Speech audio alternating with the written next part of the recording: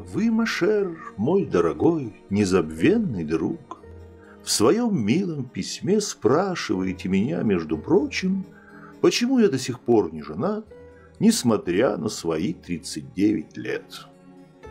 Моя дорогая, я всей душой люблю семейную жизнь и не женат потому только, что каналье судьбе не угодно было, чтобы я женился.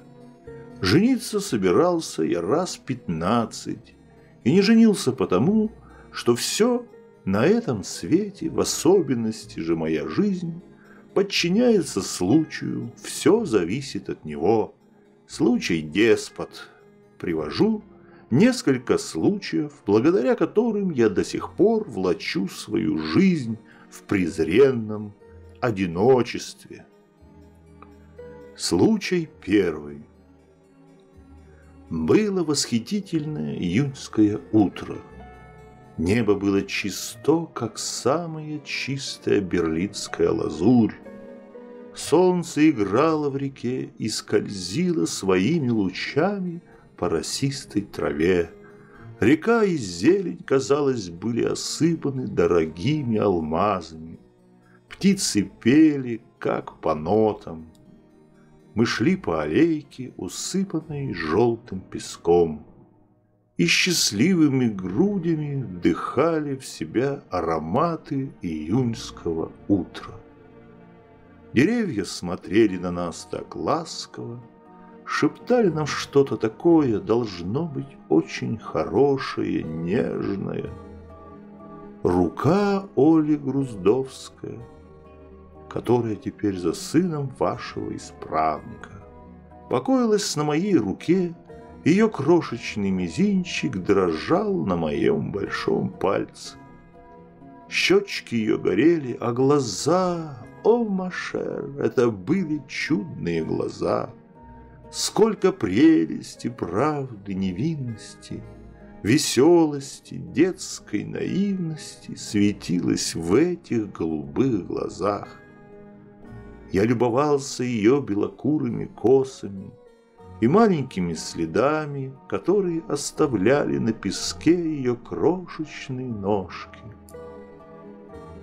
Жизнь свою, Ольга Максимовна, посвятил я науке, шептал я, боясь, чтобы ее мизинчик не сполз с моего большого пальца. В будущем ожидает меня профессорская кафедра. На моей совести вопросы научные. Жизнь трудовая, полная забот, высоких, как их, ну, одним словом, я буду профессором. Я честен, Ольга Максимовна. Я не богат, но мне нужна подруга, которая бы своим присутствием Оля сконфузилась и опустила глазки. Мизинчик задрожал. Которая бы своим присутствием... Оля, взгляните на небо. Оно чисто. Но и жизнь моя также чиста, беспредельна. Не успел мой язык выкарабкаться из этой чуши, как Оля подняла голову рванула от меня свою руку и захлопала в ладоши. Навстречу нам шли гуси и гусята. Оля подбежала к гусям и звонко гагача протянула к ним свои ручки. О, что это были за ручки, Маша? Тар-тар-тар, заговорили гуси, поднимая шеи и искося поглядывая на Олю. «Гуся! Гуся! Гуся!» – закричала Оля и протянула руку за гусенком. Гусенок был умен не по летам. Он побежал от Олиной руки к своему папаше, очень большому и глупому гусаку, и, по-видимому, пожаловался ему. Гусак растопырил крылья. Шалунья Оля потянулась за другим гусенком – в это время случилось нечто ужасное. Гусак пригнул шею к земле и, шипя, как змея, грозно зашагал к Оле. Оля взвизгнула и побежала назад. Гусак за ней. Оля оглянулась, взвизгнула сильнее и побледнела. Ее красивое девичье личико исказилось ужасом и отчаянием. Казалось, что за ней гналось триста чертей. Я поспешил к ней на помощь и ударил по голове гусака тростью. Негодяю гусаку удалось таки ущипнуть ее за кончик платья.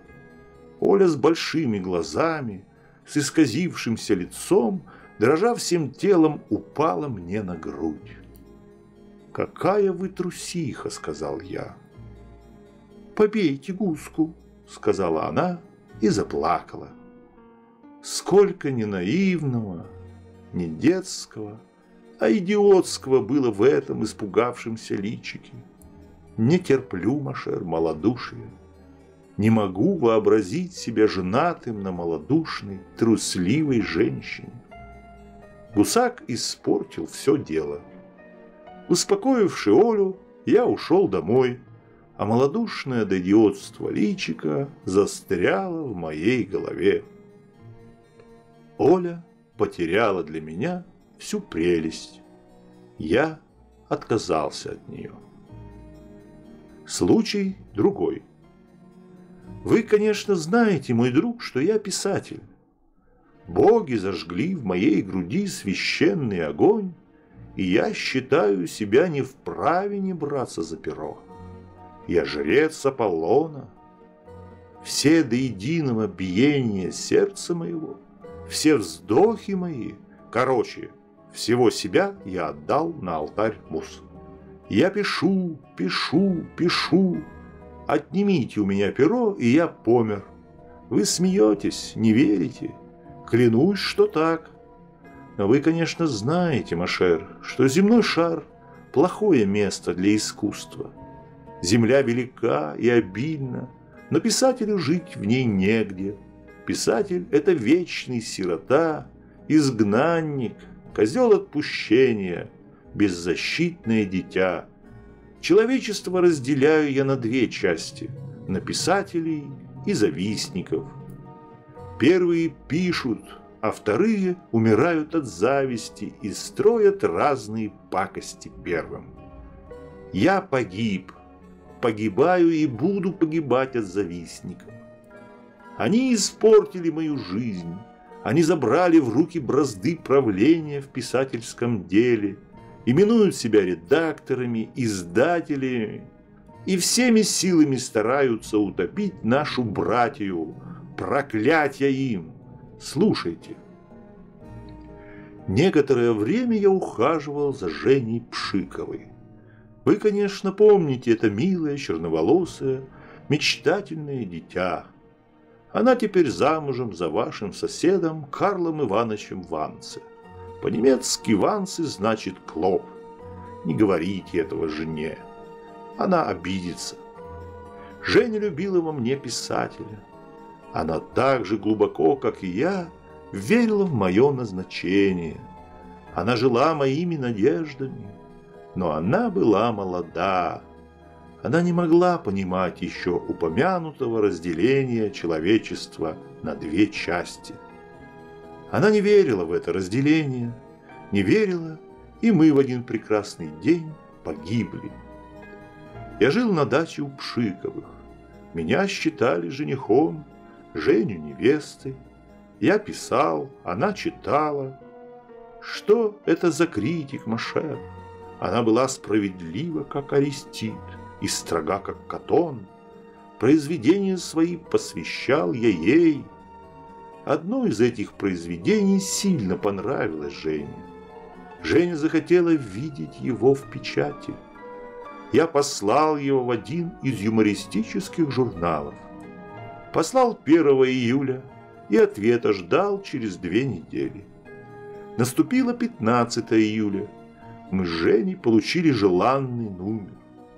Поспешно распечатали его и прочли в почтовом ящике ответ. Она покраснела, и я побледнел. В почтовом ящике напечатано было по моему адресу следующее.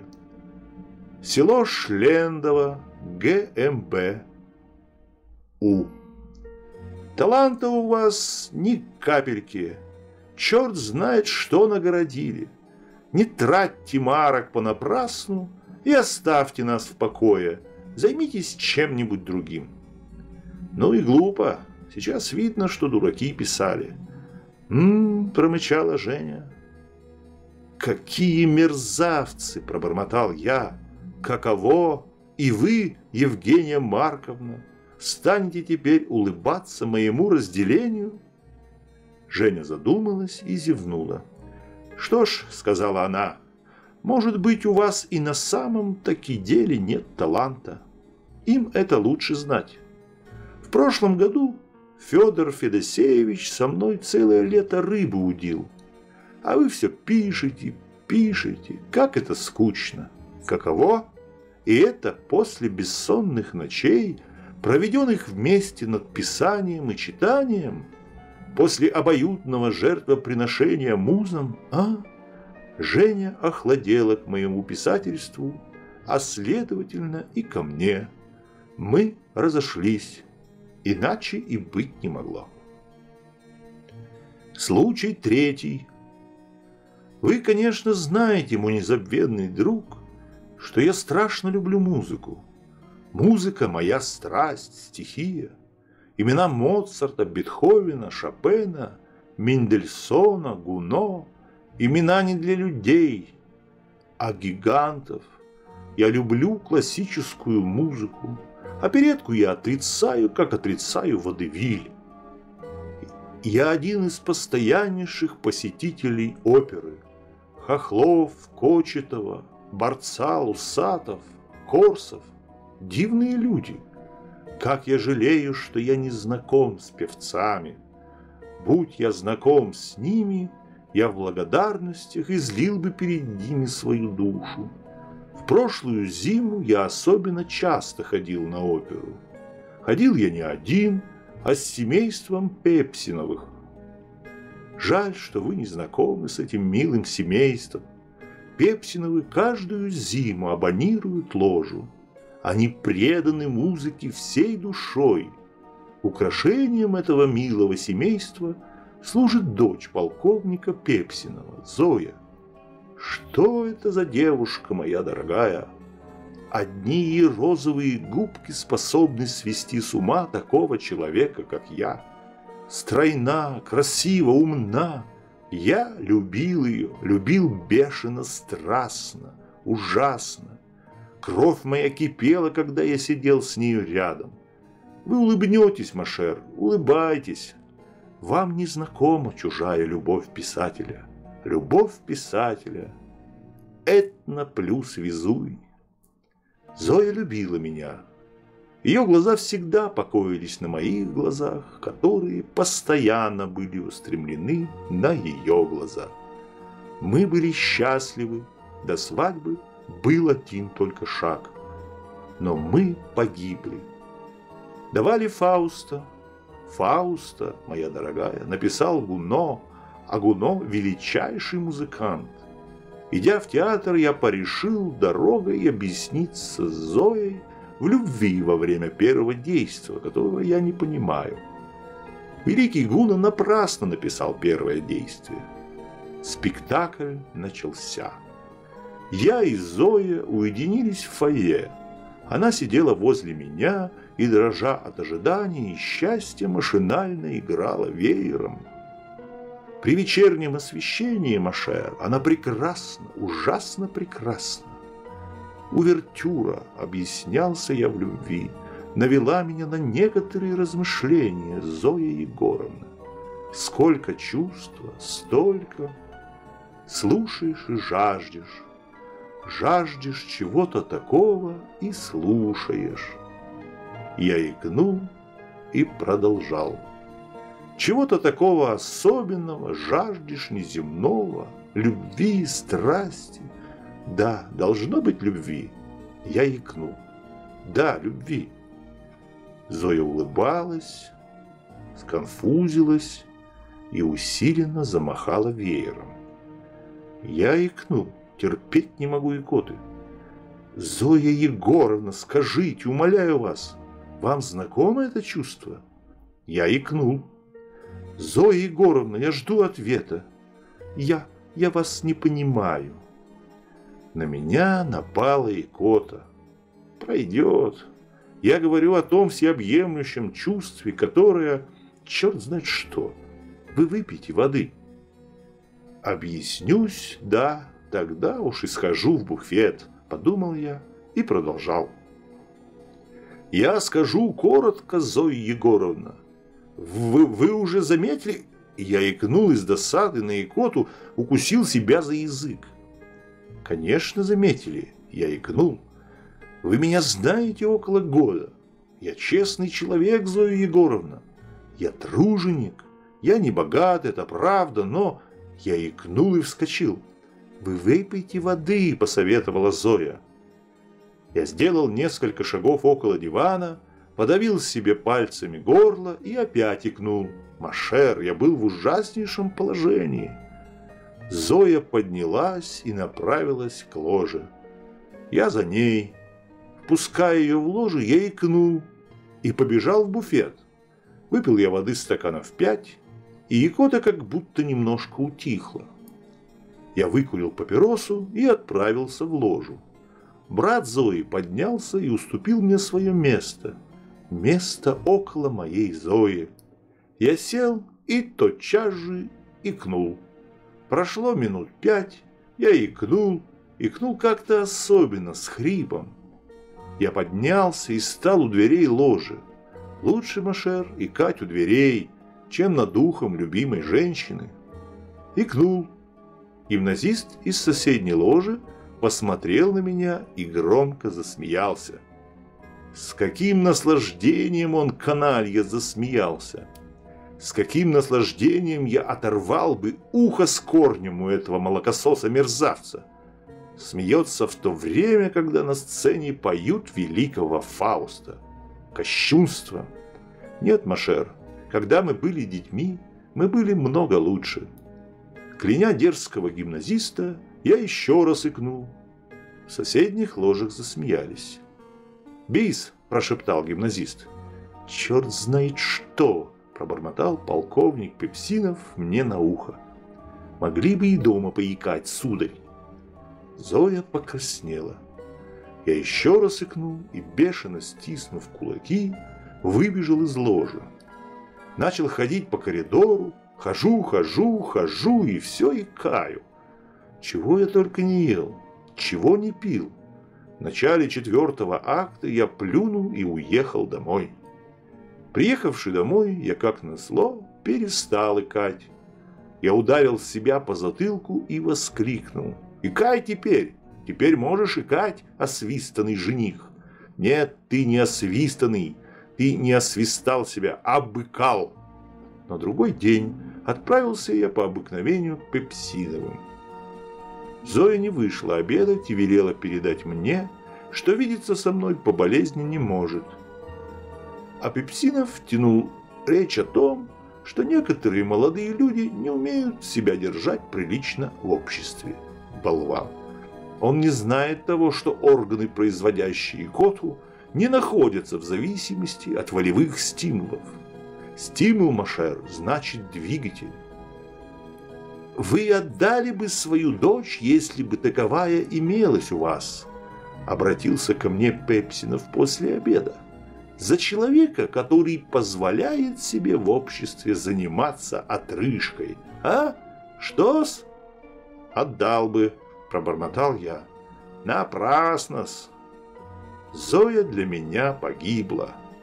Она не сумела простить мне икоты, и я погиб. Не описать ли вам еще и остальные 12 случаев? Описал бы, но довольно. Жилы надулись на моих висках, слезы брыжут и ворочается печень.